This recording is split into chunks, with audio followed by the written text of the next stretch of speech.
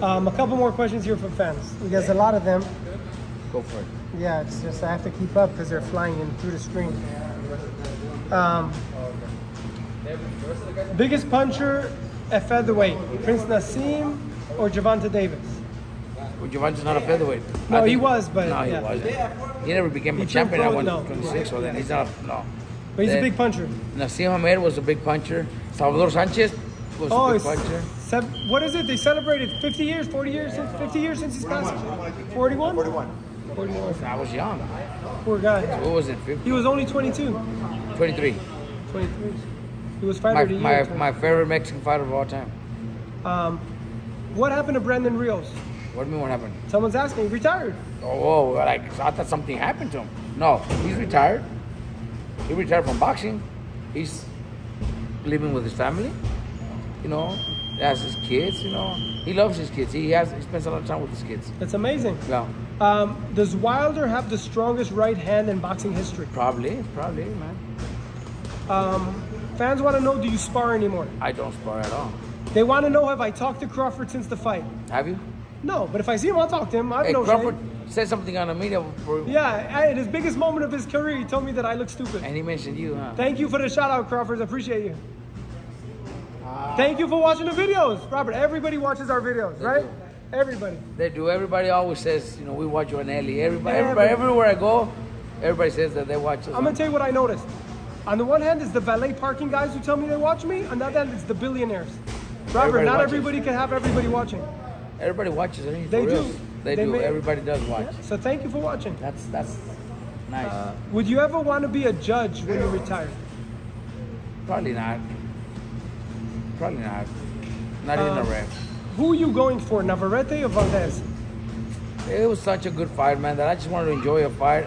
You know, the first, the first uh, few, uh, since you know, I, I always said I thought it was gonna be a great fight. I thought Navarrete. You know, I was Navarrete, man. He's just too strong. Hits so hard. Awkward style. Lands punches from so many angles that you don't see. But then the week of the fight, you know, the day of the weigh-in, I seen Navarrete and he looked a little like he killed himself to make weight. I I seen him in the weigh-ins.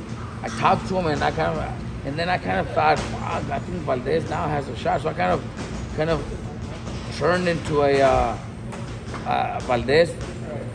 At the end, I kind of thought, fuck, Mal- I think Mal- Valdez is probably gonna uh, pull it off. But Navarrete recovered good. He fucking. He's a fucking bad motherfucker. He's tough. He's bad. Plus his style, man. That's the thing. That's what makes Awkward. it. You can't prepare for him. That's what makes it, you know, that makes him so difficult that you can't prepare for him. There's no way. There's, Um, there's no no sparring partner that you could get that's gonna fight like him. Uh, Robert, shout out from New Zealand. You're a legend out there. New Zealand, what's up? I know Have some you people been? from New Zealand. No, I've never been there, but I know some people from there. Question for Robert. If you could choose to sit down over a meal and talk life experiences, would it be Mike Tyson, Usyk, AJ, or Deontay Wilder? Life experiences. You already sat down with Mike Tyson. You know him. You already sat down Life with Usyk. experiences. Mike Tyson. Mike Tyson, 100%. You know, Usyk, I don't know him very well to, to a point where where I would like to see, eh, you know, life experiences. I really don't know.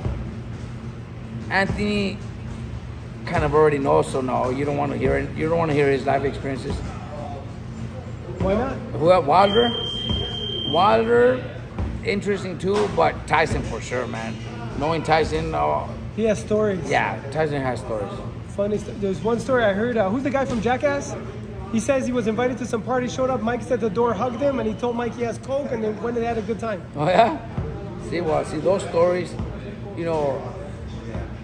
Yeah, those type of fighters. Yeah, Tyson would be the one that I would like to sit down and listen to those stories. They would be badass, badass. In in in, in other fighters besides heavyweights, like people would like to hear Brandon's stories too. Nonito's stories. Uh, Nonito also has some good stories. Brandon, let me see, from the fighters that I've had, Kelly Pavlik, she has some fucking stories too, man. Absolutely. Would you like to train a YouTuber? Who? You? Would you like to train a YouTuber? A YouTuber? Yeah. Well, if a YouTuber approached me and said he wanted to become a boxer and wanted me to train him, well, why not? I train everybody. I train a lot of fighters. Um, why not? Let's see. Will Raymond fight in September? I'm hoping that September is the date, but I think the September date that Top Rank has is already booked, so possibly not. But uh, it looks like maybe October. Hopefully, we'll see. You know what? Uh, they already know, and they already tried to see. They told me they're gonna see where they could put him in. You know, fight one more time. He's obviously. a future superstar. Yeah, he is. Uh, what did you think of Emiliano Vargas' fight? Hey, Milano did what he had to do, man. The kid was stuck in his head. He went out to beat him up, and he did. That's what. Six uh, and zero now. That's what a fighter needs to do. Go out there and, and beat them up. Where it is where is Frank the Cook? Frank? I haven't. I, I I talked to him, but I haven't seen him in a while. I talk to him often. What's he up to? Just still, you know, still wants to get involved, but we can't. What do, what do, what can we do for him? You know what I mean? He's gonna be there this weekend. Charles, is, Charles is cooking for everybody now, so we don't need a we don't need a cook anymore. Chop chop. Yo! You're fighting this weekend. Yeah. And Frank Cook will be there, I'm sure. I don't know if he's gonna be He always shows up, takes pictures with fans. Probably will show up. Um, tell everybody about the fight card, Robert. Where is it? What time is it San? Bernardino Event Center. I think they, they already changed the name. Peter says they already changed the name because uh, this is our last show there because they turned it into batting cages, so they changed the name. But it was the San Bernardino Event Center and and, and well, San Bernardino. We uh we have uh eight fights. I think six of our fighters are gonna be fighting. I know uh, Art Barrera turning pro, Leonardo Rubalcaba. He's one and all. He's gonna fight his first fight in the United States. Baby, Gemma, Albert Chop Chop. What else do we have? Uh, Chema. Chema, the main event, no? Chema. Louis the main event. Co-main event? Maybe, yeah. Or you fight at three in the afternoon when nobody's there.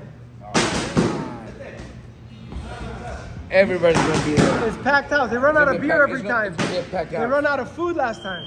We ran out of tickets. Ran out of tickets. It's a great event, guys. Come Last time we ran out of tickets, Pita, I didn't even know. I, I got mad at Pita because Pita told people they had to go because they we already have no more tickets. Fucking let them in, standing only tickets. This time's outdoors. Yep, so people that. could come in and, and you know, Enjoy it. pay enjoy it. less. If I don't know if, if it's sold out, I'm still good. We want people in, man. We still want people in. Um, have you ever sparred Fernando? Fernando, we sparred a lot. How was we that? kids. He was much bigger, no? I was older. Yeah, but he was bigger. No, but I was older, and he was probably my size when, when, because I'm three years older. So remember, he started training at 10. I was 13. So by the time I was 15, he was 12. He was bigger than me. I was, you know, because I was still, I was still uh, older, so I was bigger then. But uh, he started getting once we once he was 15, he started getting bigger than me, bigger than me. And and one thing he told me one day, and, and that's one thing you got to respect him for that too. You know, we were, we're compadres. You know, he used to stay in my house. We used to live with us with my dad. You know, my dad brought him in for months, months at a time. You know, to live with us. So we grew up like brothers. And uh, and one day, one day after we were, you know, we were already retired. He says, "Look, compa, it wasn't it wasn't personal or nothing against you, but me growing up, you were the best in the gym at that time. You were the best. Nobody else was better than you. So growing up, my, my goal was to fuck you up one day Wow. until the day came.